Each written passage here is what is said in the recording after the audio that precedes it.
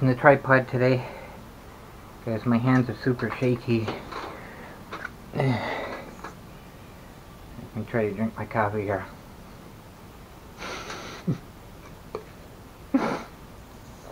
Ugh. So if I try holding the camera, it's going to be all over the place. The reason for that is because I still can't get the lawnmower out, it's buried. And I had to do something with the yard today. Because, surprised nobody's complained yet. But it, it's getting pretty bad. And I had to get the weed eater out. And it took as long as, well, I went as long as the battery lasted. I got most of the backyard done just with that, so I'm impressed. The battery actually lasts fairly long in that thing. So I'm wearing sandals today. It's pretty hot today. And I'm going to be pretty itchy by the time I go in. So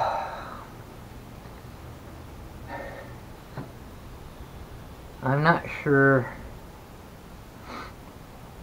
what I'm really going to be doing next little while. Um, I'm just, my body just isn't going to work for me as far as getting stuff done out here.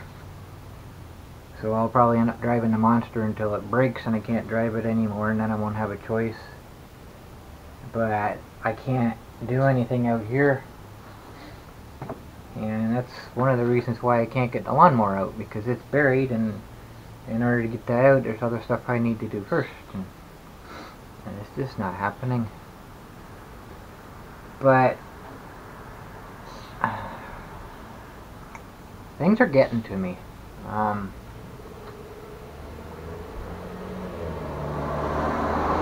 time is going by so fast now. I just I don't even have time to make a video anymore. Um, I reduced things that I do and that works for a little while. I'm not doing any more than I was before. I'm actually doing less. I'm not sleeping any longer, but there's less hours in the day. And it, it's kind of... It's... I don't have the time to do the things I need to do. Um,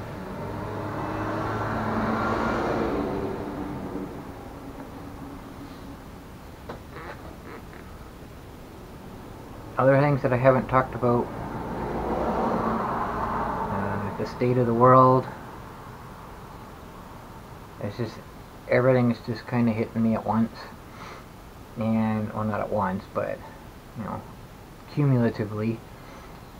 And I don't know if you've noticed the last few videos that I've done that hurts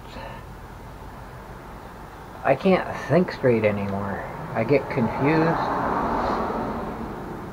um, when I do my talk before I go out I forget what I was going to talk about or I just I draw a blank halfway through that's normal for me. That's you know what everybody likes to call fibro fog. But it's just it seems to be getting worse, and it's taking its toll on me mentally. It's it's it's tough to deal with it. I'm having a hard time just dealing with everything. And that just that kind of it in itself kills the motivation. But even if I got the motivation, there's no time to do anything. So I don't know what I'm gonna be doing. I'm gonna take a break from my videos for a little bit. Uh, obviously, I'm not gonna stop getting video because the cameras have to be there. But I just don't have time to make videos right. Like I was making one every day. I was having no issues. And then other things kind of came into play so I had to cut some other things out to make time for and it, that was working. And then all of a sudden there's like nothing. There's no time.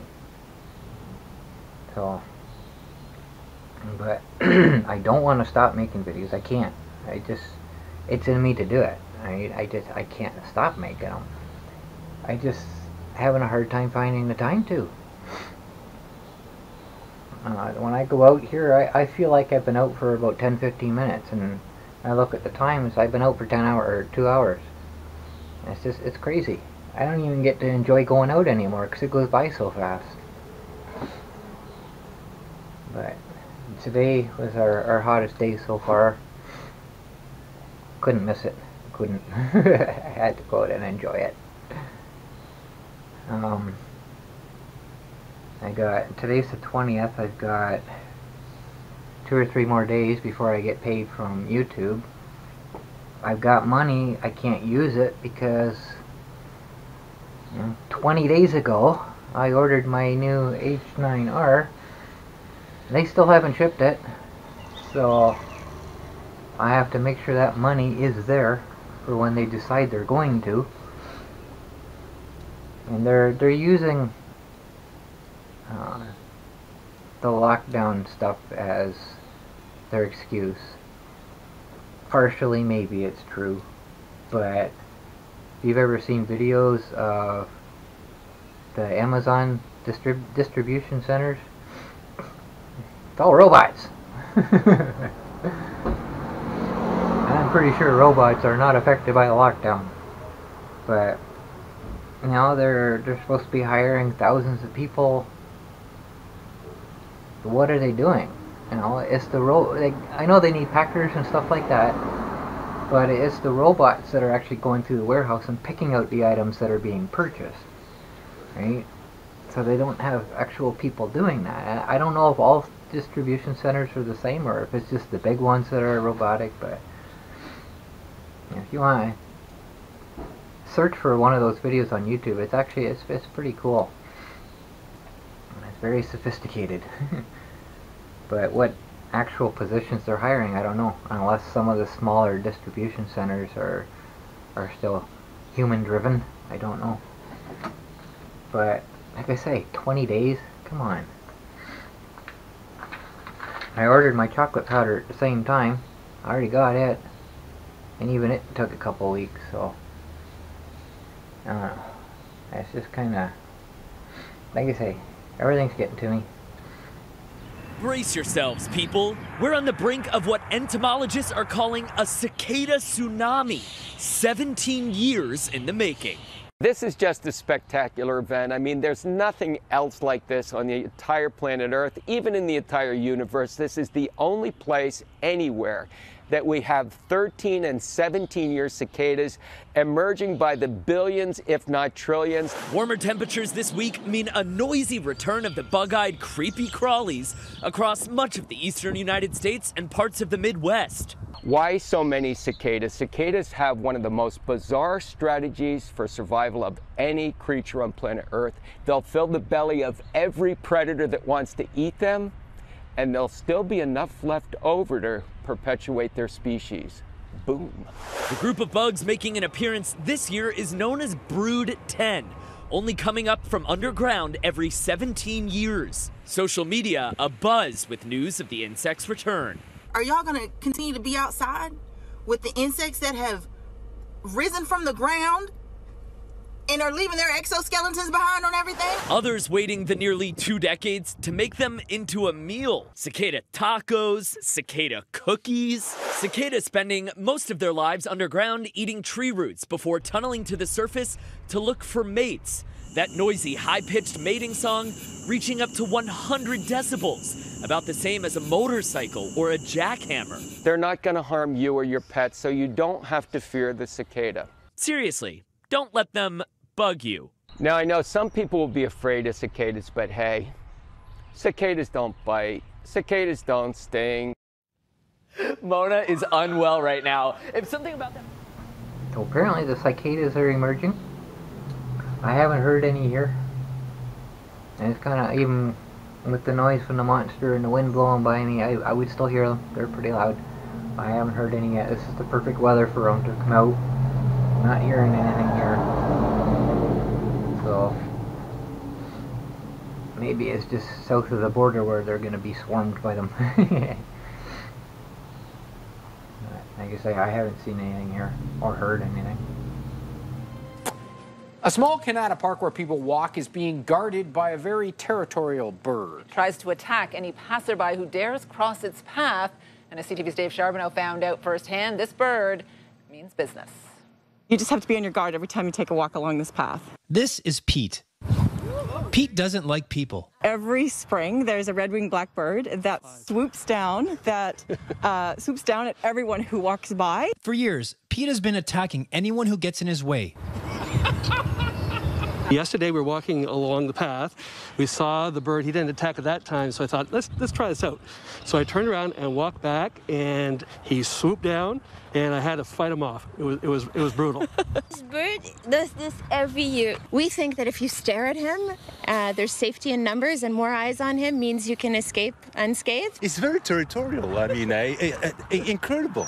Residents in the area have even put up signs. It's not like you hear fluttering of wings. It's more like a it's more like a snake coming right at your head. Warning, there's danger from above. You duck, you start running, and then you usually hear this hissing. But is it really as scary as people say it is?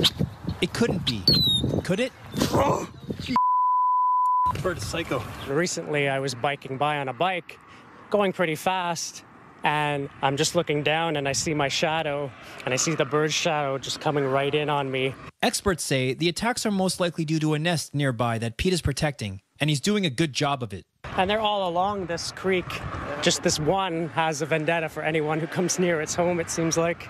And my son puts his helmet on and rides yeah. his bike by and gets pecked on the head. He loves it. So if you find yourself walking down this path in Kanata, just know that you might be running for your life from Pete the red-winged blackbird who owns this trail. It's good to know that I'm not the only one that is, is speaking on. Dave Charbonneau, CTV News. Oh, it's nice to know I'm not the only one getting dive bombed by the red-winged blackbirds. So, we just got one here that uh, along the highway seems pretty protective of his area, but haven't really had any issues with it this year. So I guess I'm going to have to come up with a name for, for our bird here.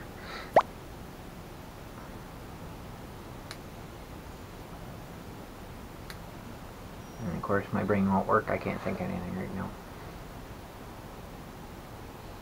So I'm not sure what else to talk about really. Uh, dam's closed up now, so I'm not going to be able to out on the riverbed anymore. And it's it's hard for me to take a break down there now because there, there's always kids swimming down there, jumping off the dam. And I don't like sitting there when there's kids there because I don't want people to think I'm watching them. And it is pretty bad that I have to, you know, consider stuff like that. Like I was going down the perk trail today and there was there was a girl that was walking and she decided to start running and I'm like getting closer to her. I just stop running. I don't want people to think I'm chasing you, you know. It just that's the world we live in. You think of things like that, you know. And it's pretty sad. But you know, there's there's four different places I can sit down at the dam and you know, basically there's only one real safe one. But, you know, it's, it's one of my favorite places to sit. But it's, it's really... Um, there's two places, I think. I think only two places where I really see kids in the river. So once they get rid of the dam, there's just... You know... I'm not sure what they're going to do. I think the kids will miss it more than anything else. But, I don't know. I, I'll kind of miss it because I like looking at it when I sit there. It just is... It's a landmark, basically. and one more thing, I guess, to talk about is I gotta check that plug on the controller. I think it might be melted again. I, I can drive with my lights on. Uh, today's kind of overcast. And yesterday, I think it was yesterday, I also had my lights on but I can't drive with my four ways on, it'll go into error mode, so you know, that's kind of an indication there's an issue with that plug, so I when that's gonna happen, I don't know.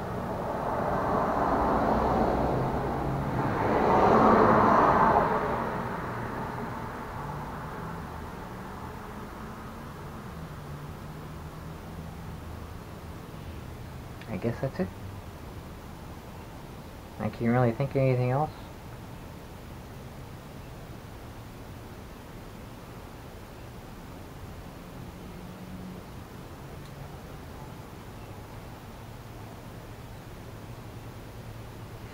I'm pretty sure that was it.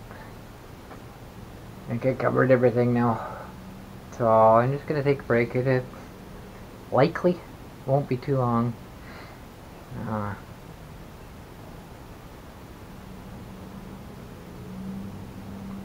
There we go again. I just instantly what I was gonna say just went poof, went away. So I'm gonna end this here. Um, well, my talking part, anyways. I'm sweating like crazy now. Uh, my my arms are like rubber. I need a I need a shoulder strap for that thing. There's nowhere to hook it on. It doesn't really come with one, so maybe I'll have to make something. I don't know. Anyway, that's all I got for this one. So, I don't know, maybe I'll start a video and just kind of work work on it over a few days. It's, it's really hard for me to do that, though. Because normally once I start working on it, I just go nuts and, you know, keep at it until it's done. But if I do that right now, it'll be like 5 o'clock in the morning, you know. It's just crazy. So I'm trying to get up earlier. I got woke up at 8 o'clock this morning, 8.30, something like that. I've been up since. I did sort of kind of sleep for like an hour just before I come out, but that was accidental. That's the problem if I don't get out of bed. I end up going back to sleep when I don't want to. Anyways, I gotta stop talking now.